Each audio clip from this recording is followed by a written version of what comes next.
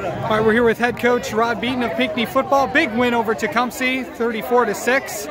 Coach, it always start. It always feels good to start off the season with a big win. Oh yeah, there's no doubt, right? I mean, we knew Tecumseh was going to come in here and fight, um, you know, and they did. They fought. They, they gave us all we could handle. You know, honestly, I give a lot of credit to Tecumseh tonight, man. Those guys played their butt off, played hard, got after it, um, and, and you know, uh, for us, we were a little sloppy at times.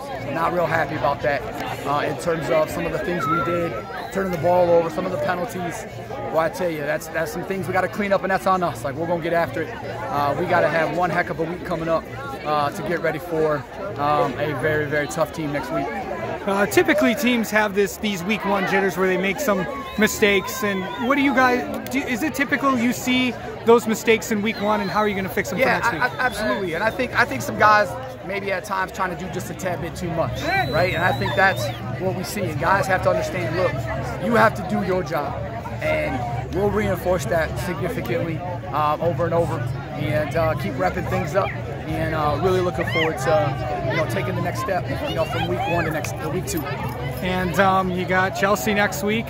That's always a that's always a tough task. You know, you know what they are, but uh, how are you guys going to get ready for that big challenge? Hey, you know, we're going to go do us. You know, honestly, we're going to get prepared just like we always do, and we know we, are going to be in an absolute dogfight next week. They are going to be ready. Uh, they're they're a tremendous program, and those guys are going to be fired up, ready to go, and, and so will we. I think it's going to be a fun game. All right, Rod. Thank you very much. Um, always appreciate it. Thanks, Casey.